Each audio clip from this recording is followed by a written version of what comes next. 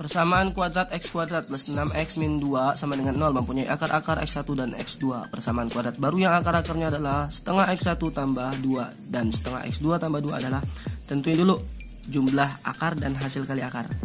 Jumlah akar itu X1 tambah X2 rumusnya min B per A. Min B nya berarti B nya kan 6 berarti min 6 per A nya 1 min 6 bagi 1 min 6. Hasil kali akar X1 kali X2 rumusnya C per A. C nya min 2 per A nya 1 min 2 dibagi 1 min 2 oke udah dapat jumlah akar dan hasil kali akar. Kita buat ke persamaan kuadrat baru.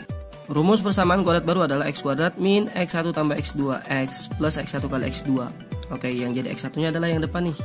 Setengah x1 plus x2 yang jadi x2 nya adalah setengah x2 plus 2 oke kita masukin. Ya x1 nya udah saya ganti dengan setengah x1 tambah 2 dan x2 nya udah saya ganti dengan setengah x2 tambah 2 tinggal kita selesaikan operasinya dulu nih yang di dalam yang dalam yang setengah X1 dengan setengah X2 kan sama-sama punya setengah. Setengahnya saya keluarin. Jadi difaktorin ya setengah X1 tambah X2 X1 tambah X2 nya di dalam. 2 tambah 2 4 jadi setengah X1 tambah X2 tambah 4 kayak gini nih jawabannya ya. Kemudian yang sebelah kanan saya kali dulu. Yang belakang saya kali silang nih. Oke ya. Setengah X1 dikali setengah X2 kan karena setengah dikali setengah kan 4 kan gini ya. Jadi seperempat ya seperempat X1 X2 ini kali sini kan ya? Setengah kali dua kan satu. Berarti tinggal x 1 nya aja. Kemudian dua kali setengah x 2 dua kali setengah kan satu. Berarti tinggal x 2 nya aja. Dua kali dua empat. Oke gitu kan ya? Tinggal kita masukin tuh yang tadi kita udah dapat x 1 plus x 2 nya min 6 x 1 kali x 2 nya min 2 tinggal kita masukin. X1 tambah X2 nya min 6 X1 kali X2 nya min 2 Kita masukin. Sudah tuh ya?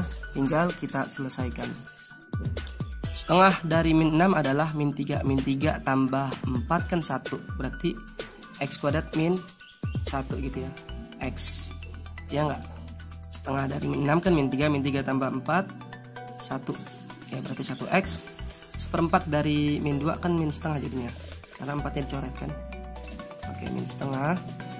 Gitu tuh. Ya. Min 6 ditambah 4 min 2 kan gitu karena ada penyebutnya penyebutnya dua nih kita kali dua aja di awal.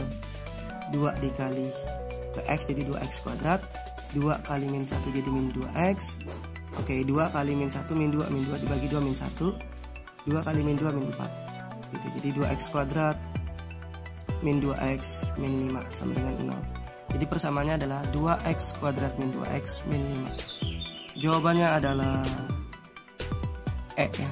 2x kuadrat min 2x min 5 jawabannya E